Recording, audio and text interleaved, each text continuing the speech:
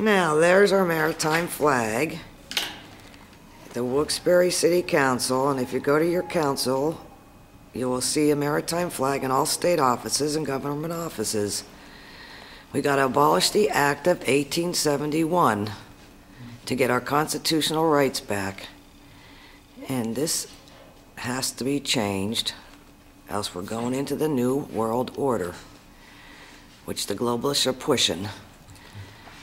Please share this video and check out your state house and your local government. Thank you.